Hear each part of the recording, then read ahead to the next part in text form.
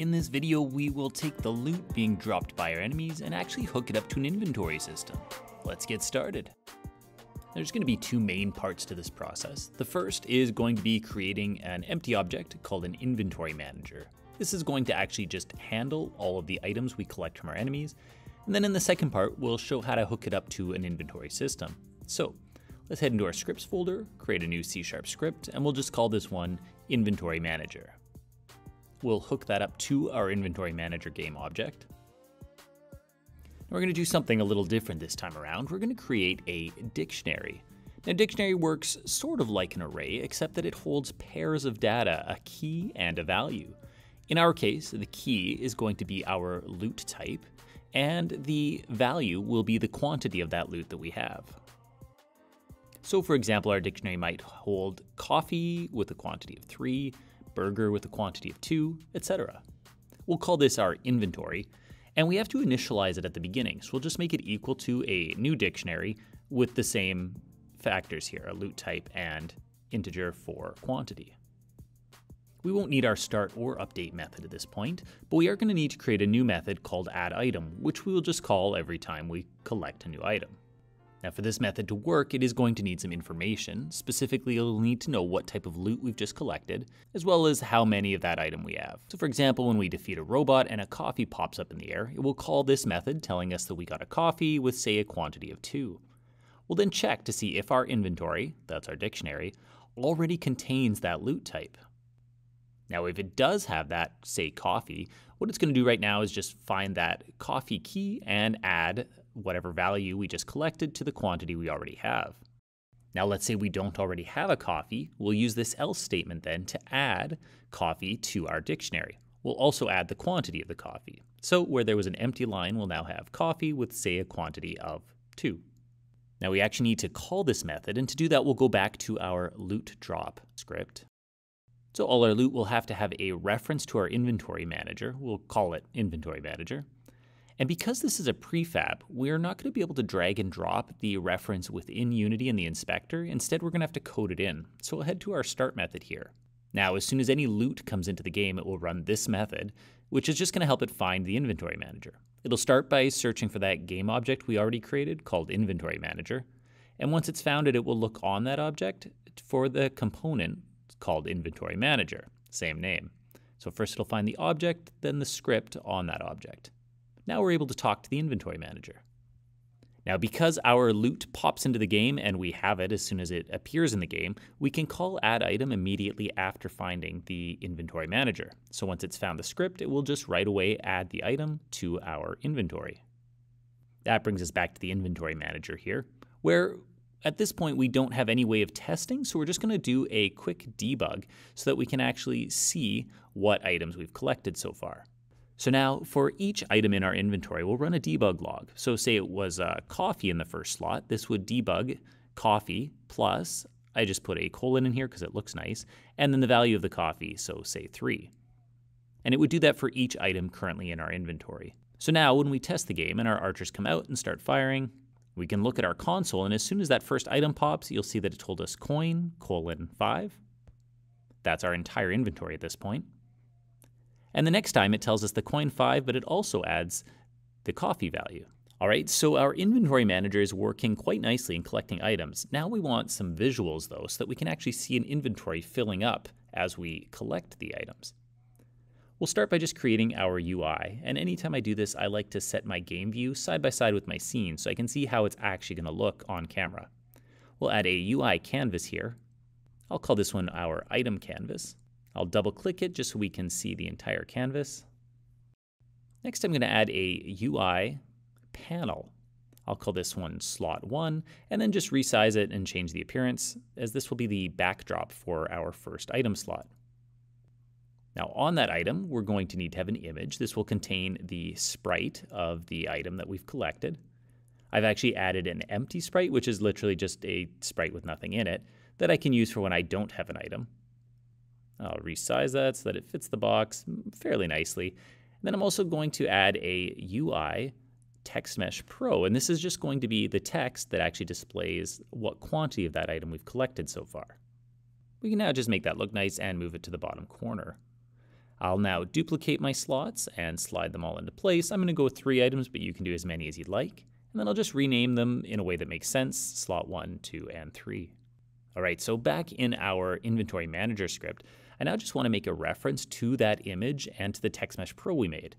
Now, if you try to reference an image right off the bat, it's not going to like that. That's because we need to import the UnityEngine.ui namespace so that we have access to those UI elements.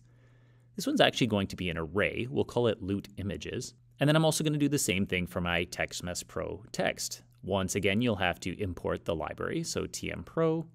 This one's also an array, and we'll just call this one loot quantities. So the beauty of using an array here is that it allows you to dynamically change the length of the array depending on how many items you want to have. So while I'm using three, you could be using five, and it just means you have to drag five items into your array instead of three.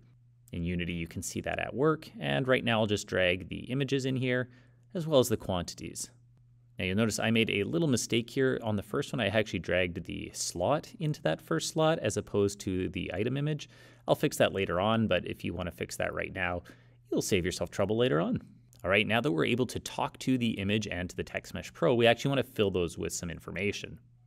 Now the quantity is already saved in our dictionary, so we don't have to do anything special for that just now. However, our images aren't currently stored anywhere. There's nothing in our game that knows what sprite to display for which item. So we'll make those references here. I'll make a public sprite and then just one for each of the items in my game. So a coin sprite, burger sprite, and coffee sprite. If you've never done it this way before, you can actually save yourself some space by putting commas between each variable rather than writing public sprite before each one. All right, now we can come down into our add item method where we can get rid of that debug log as we're actually going to make our inventory update now and we won't need that.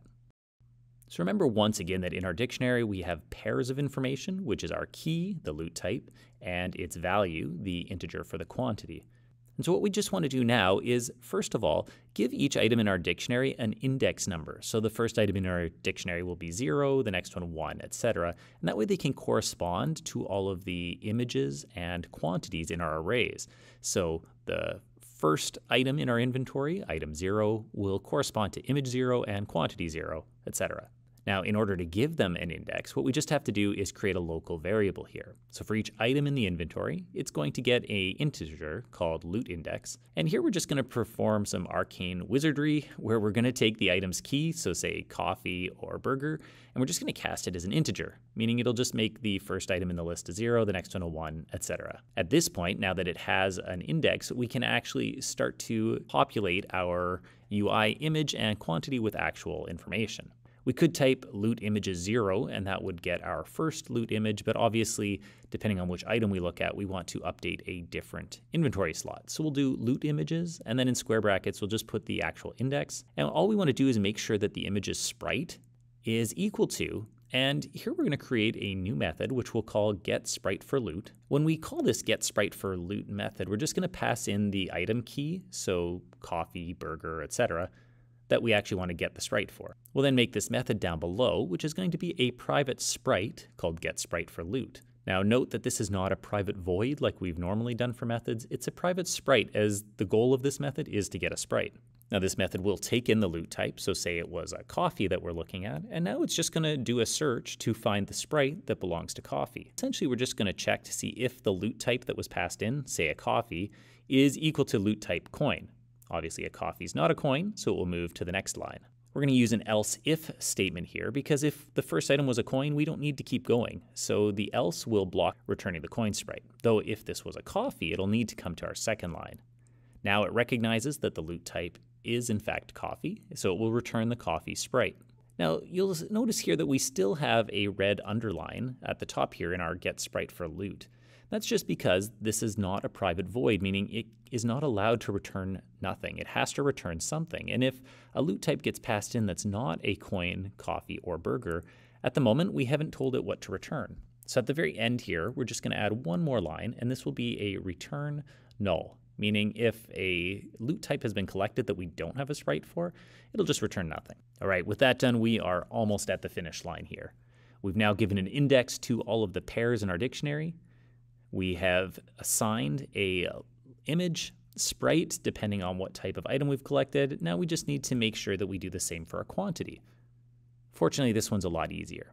We will just look at the loot quantity, so say the first loot quantity, quantity 0, and all we want to do is make sure that that TextMesh Pro's text is equal to the actual value. So if this is a coffee, we want to make sure that its text is equal to the number of coffees we have. We can't just put item value because that's an integer. We just need to turn this into a string so that the text actually comes across as text. All right, a little hookup in Unity and we are all finished. We just need to make sure that our inventory manager knows which sprite belongs to which item. I'll fix that little mistake I made earlier where I put the slot instead of the image into my loot image, and then we can test. You'll notice now that when we are defeating these enemies, our inventory is indeed populating with both the image and the quantity of the item that we've collected. Things are working pretty well. The only thing that remains at this point is to make these items usable, which is where we'll go in our next video. Until that time, I hope you found this one useful. If you have, please be sure to leave a comment down below or like or subscribe. Until next time, this is Matt with Night Run Studio. Cheers.